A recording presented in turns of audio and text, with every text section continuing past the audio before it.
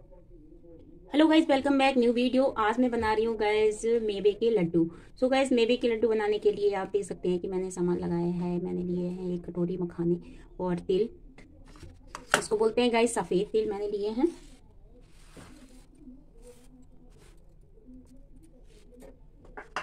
Dry fruit में आप ले सकते हैं। मैंने काजू लिए हैं और बादाम लिए हैं, एक प्लेट और गोंद खोया आधा किलो, एक किलो आटा,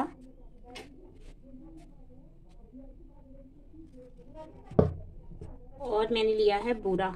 अगर आपके पास बूरा ना हो तो आप पिसी हुई चीनी भी मिक्सी में ग्राइंड कर सकते हैं चीनी को। तो गैस मैंने बूरा लिया है इस तरीके से। और चाहे तो अगर चीनी भी ले सकते हैं, चीनी को भी मिक्सी में आसानी से पिस जाती है। और हरी इलायची। तो गाइज़ अगर आप नए मेरे चैनल को देख रहे हैं तो मेरे चैनल को सब्सक्राइब कीजिएगा कमेंट कीजिएगा और ज़्यादा से ज़्यादा वीडियो शेयर कीजिएगा। तो गाइज़ बनाएँगे तिल के Laddu. So guys welcome back new video तो मैं, आप देख सकते हैं कि सामान तैयार रखा हुआ है और बनाने जाऊँगी मैं लड्डू। लड्डू बनाने के लिए गैस सबसे पहले मैं गैस जलाऊँगी गैस को ऑन करने के बाद आप देख सकते हैं कि मेरी, आप गया, नया गैस का नया चूल्हा आप देख सकते हैं कि कैसा लग रहा है। कमेंट्स में बताइएगा चूल्हे के बारे में और गैस को ऑन करेंगे। अब गैस को ऑन करेंगे। और इस पर रखेंगे लोहे की कढ़ाई।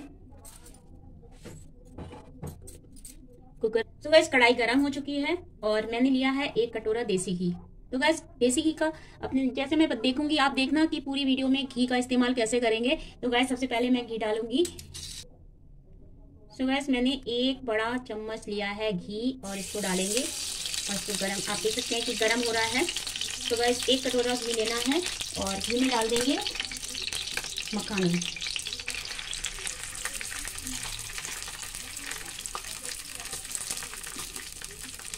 और इसको चलाएँगे।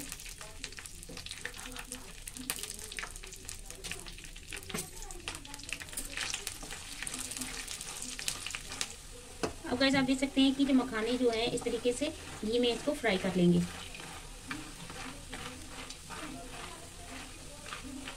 और इसको इस तरीके से फोड़ के देखेंगे कि अभी सॉफ्टनेस है, जब ये टाइट हो जाएँगे, तब ये लगेगा कि हाँ ये भुन गए। गैस को लो फ्लेम पर कर देंगे। गैस को लो फ्लेम पर कर देंगे और इसको निकाल लेंगे। तो गैस मखाने आप देख सकते हैं कि आवाज़ से कि ये मखाने अच्छे से भून चुके हैं। तो गैस अब फ्राई करेंगे, अब तलेंगे गोंद गोंद के लिए एक चमचा फिर डालेंगे देसी घी और इसको गर्म करेंगे। गोंद तलने के लिए हाई टेम्परेचर में इसको गर्म करेंगे घी को गैस को फुल टेम्परेचर में रखेंगे। तो गाइस आप देख सकते हैं कि गोंद को इस तरीके से फ्राई कर लेंगे। गोंद बहुत आसानी से इस तरीके से फ्राई हो जाता है और ये फूल के बहुत ज़्यादा सॉफ्ट हो जाएगा। तो गाइस गोंद जो है अच्छे से तल चुका है, अब इसको निकाल लेंगे। और इसको मिक्सी में ग्राइंड करना है आप किसी की तरीके से आप इसको फ्राई कर सकते हैं। चाहे तो थोड़ा थोड़ा करके यहाँ इकट्ठा पराठा जैसे बना सकते हैं। तो ये फ्राई हो चुका है अच्छे से तल लिया है। अब कॉर्न को निकाल लेंगे गैस को लो फ्लेम पर कर देंगे।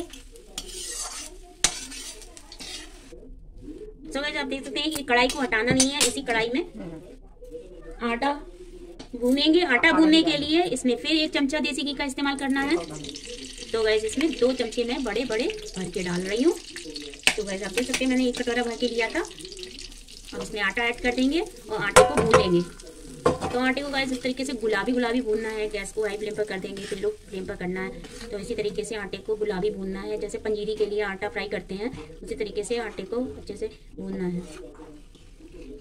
और इसको चलाते रहेंगे, चलाने के बाद इसको पाँच से दस मिनट तक इसको इसी तरीके से करते रहेंगे।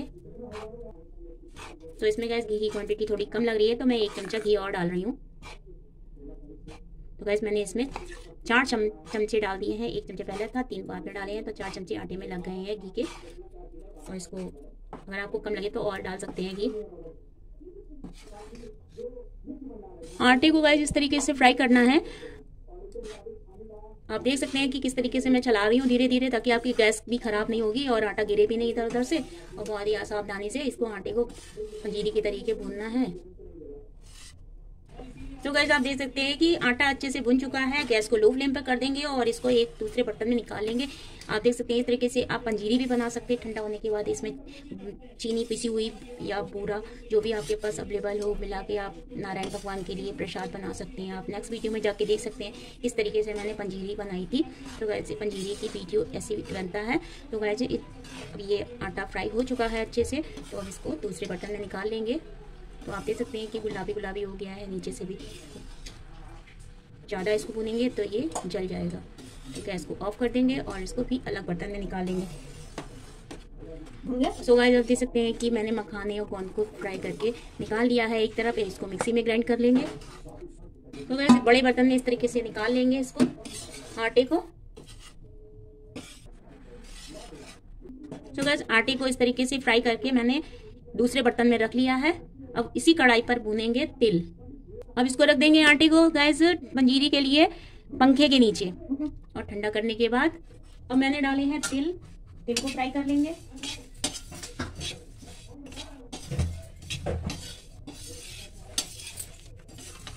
गैस को हाई फ्लेम पर कर देंगे। और इसी तरीके से तिल में गैस ऑयल नहीं डालना है। तिल को इस तरीके से सूखा ही इसको फ्राई करना है।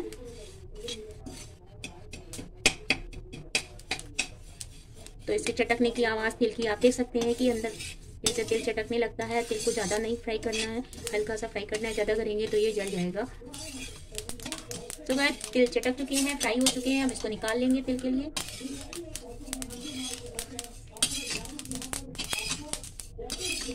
गैस को लो फ्लेम पर कर देंगे। तो गैस ये तिल है, जो मैंने फ्राई कर लिए हैं, अब इसको भी ठंडा कर लेंगे और पंखे के नीचे रख देंगे। इसी कढ़ाई में गैस ये मैंने खोया डाला है और खोया को गर्म करेंगे। तो खोया को गैस इतना गर्म नहीं करना है हल्का सा फ्राई करना है, इसको गुलाबी होने तक की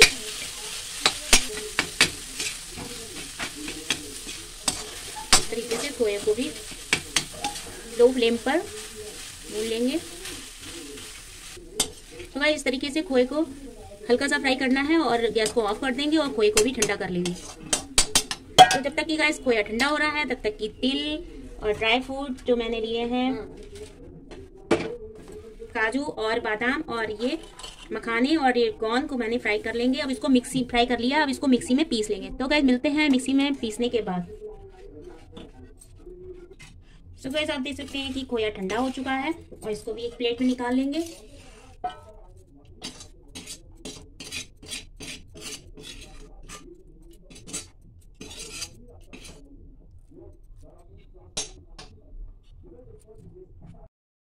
सो so गैस ये आटा आटा ठंडा हो चुका है। आप देख सकते हैं कि आटा ठंडा हो गया है और इसको हल्का सा गर्म है। तो इसी में गैस ये जो मैंने ग्राइंड कर लिया है, वो भी मिला लेंगे और ये खोया है। खोया इसमें इस तरीके से मिला देंगे। तो गैस खोया को मैंने इस तरीके से डाल देंगे और और तो इसी में ही गैस मिला देंगे। ये पूरा जो मैंने लिया है, एक किलो पूरा पिसा हुआ तो इसमें ऐड कर देंगे।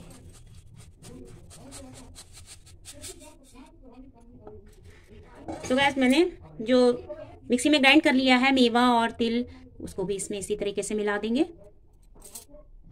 सो गाइज़ अब आप देख सकते हैं कि इसमें मैंने ग्राइंड कर लिया है तिल। तिल। को मिला देंगे इसी के ऊपर। गोंद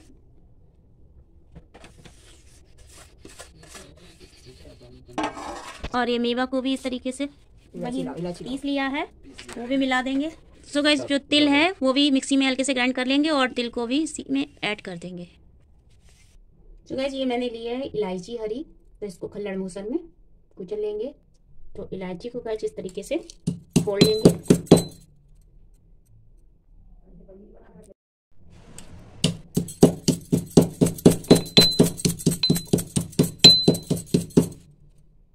तो वैसे आप देख सकते हैं कि इलायची का पाउडर बनके तैयार हो गया है और इसके छिलके अलग निकाल देंगे। जो छिलके जो हैं, इसको आप चाय में इस्तेमाल कर सकते हैं। जब चाय बनाए तो बहुत ही ज़्यादा स्वादिष्ट लगती है चाय। तो चाय में आप इस तरीके से एक छिलका डाल देंगे। इलायची का तो स्वादिष्ट चाय बन तैयार हो जाएगी।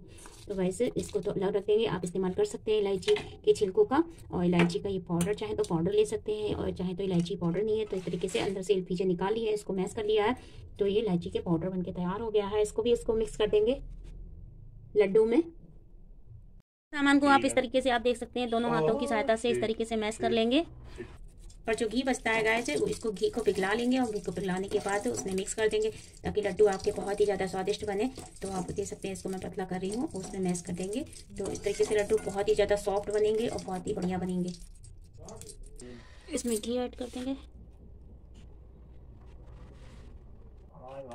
इसमें गाइस इस तरीके से घी इसमें की क्वांटिटी और पड़ेगी तो इसमें तीन चमचे और डालेंगे।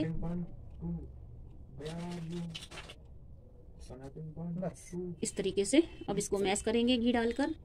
ठीक है। अब इसको मिक्स करेंगे। ठीक है। तो जब घी डालने के बाद आप गाइस देख सकते हैं कि लड्डू इस तरीके से बन जाएँगे वैसे नहीं बन पा रहे थे अभी। सो गाइस आप देख सकते हैं कि इसमें एक चमचा और पड़ेगा। अब इसको मिक्स कर लेंगे। तो। गाइस इस तरीके से आप देख सकते हैं कि जब ये सॉफ्ट हो जाता है और अभी आप लड्डू आसानी से बना सकते हैं जब घी इसमें इस तरीके से कुछ ज़्यादा सा मिक्स हो जाता है। तो गाइज़ मैंने इसमें पाँच चमचा भर भर के घी डाला है। सो so गाइज़ आप देख सकते हैं कि आप बनाएँगे इसके लड्डू। लड्डू बनाने के लिए आप कोई भी शेप दे सकते हैं चाहे तो बड़ा शेप दे सकते हैं। तो गाइज़ मैं इस तरीके से मैंने हाथ में लिए हैं दोनों हाथ में इस तरीके से ले लेंगे और ये बनाएँगे लड्डू। तो दोनों हाथों से इस तरीके से करेंगे। और ये बन गए परफेक्ट लड्डू इस तरीके से गैस अच्छा।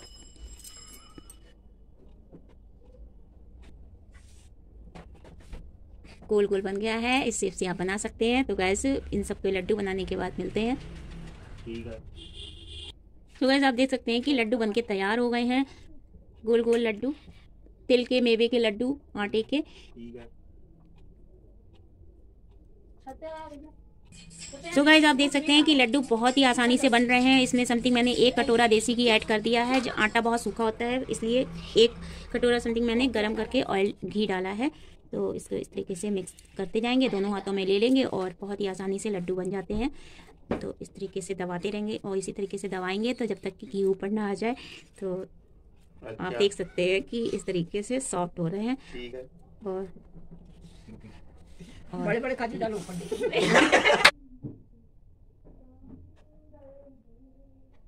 तो गाइज़ आप देख सकते हैं कि लड्डू बनके तैयार हो गए हैं और ये कितने बढ़िया लग रहे हैं लड्डू। तो ये मेवे के लड्डू हैं गाइस आटे के और आटे तिल और मेवे के लड्डू हैं और इस तरीके से आप बना सकते हैं लड्डू। तो गाइस ये बहुत ही ज़्यादा फ़ायदेमंद होते हैं और बहुत ही ज़्यादा पौष्टिक भी होते हैं। तो अगर आप एक लड्डू अगर रोज़ डेली खाएँगे तो आपका डाइजेशन बहुत ही अच्छा रहेगा और ताकत भी आएगी। आँखों की रोशनी के लिए भी बहुत फ़ायदेमंद है। तो गैस इस तरीके से आप लड्डू बनाइएगा। तिल और मेवे के लड्डू। तो गैस इसमें समथिंग पाँच किलो देसी घी लगा है गाइस इसमें। और जब, यदि आप ऐसे लड्डू बनाते हैं, आपको बनाने में प्रॉब्लम होती है तो घी गर्म करके डालें तो बहुत ही ज़्यादा जल्दी बन जाते हैं और सॉफ्टनेस बनते हैं। जब तक इस तरीके से आप दबाएँगे या दबाने के बाद जब ये ऑयल ऊपर आ जाता है, आप देख सकते हैं तो ये परफेक्ट लड्डू इस तरीके से बन जाते हैं। तो गाइस ये आप देख सकते हैं, हाथों में लिए हैं तो ये टूट भी नहीं रहे हैं। अगर आप ज़्यादा क्वान्टिटी घी नहीं रखेंगे तो ये बहुत ही जल्दी टूट जाते हैं। तो गैस इस तरीके से लड्डू आप देख सकते हैं कि तिल जो है, ऊपर से व्हाइट तिल दिख रहा है, बहुत ही ज़्यादा टेस्टी लग रहा है। तो मेवा जो है मैंने ग्राइंड कर लिया, आप चाहें तो ग्राइंड नहीं करें। तो मोटी भी रख सकते हैं। तो मैंने मिक्सर में ग्राइंड कर लिए थे। तो इस तरीके से गैस लड्डू बन जाते हैं। बहुत जल्दी और बहुत ही आसानी से बहुत ही अच्छे लगते हैं। तो गैस ये मेरी लड्डू की रेसिपी आपको कैसी लगी? मावा के लड्डू। तो गैस अगर अच्छी लगी हो तो प्लीज़ मेरे चैनल को सब्सक्राइब कीजिएगा कमेंट कीजिएगा और ज़्यादा से ज़्यादा वीडियो शेयर कीजिएगा। तो कैसे आप देख सकते हैं कि ये मैंने दो किलो लड्डू समथिंग तैयार हो चुका है। दो किलो मावा के लड्डू तैयार हो गए हैं तो इसको आप इस क्या करेंगे डिब्बे में पैक करके रख सकते हैं। तो डिब्बे में ये पैक करके आ, इस तरीके से फ्रिज में रख सकते हैं स्टोर करके तो आपके महीनों आपके लड्डू ये ख़राब नहीं होंगे। अगर यदि आप कहीं जा रहे हैं घूमने इधर तो भी आप लेके जा सकते हैं और ये ख़राब नहीं होने वाले। तो गैस इस तरीके से आप खाइएगा और लड्डू और बताइएगा मेरी लड्डू की रेसिपी कैसी लगी। तो गैस अच्छी लगी हो तो कमेंट करिएगा और मेरे नए चैनल एक शॉर्ट्स की वीडियो डालती हूँ जिसमें कम्युनिटी ऑप्शन में मेरा एक नया चैनल है तो उसमें भी जाके आप मेरे चैनल को सब्सक्राइब कीजिएगा और ज़्यादा ज़्यादा वीडियो शेयर कीजिएगा। सो गैस आपको लड्डू की वीडियो कैसी लगी? अगर अच्छी लगी हो तो कमेंट बॉक्स में ज़रूर बताइएगा और मेरे चैनल को सब्सक्राइब, शेयर ज़रूर कीजिएगा।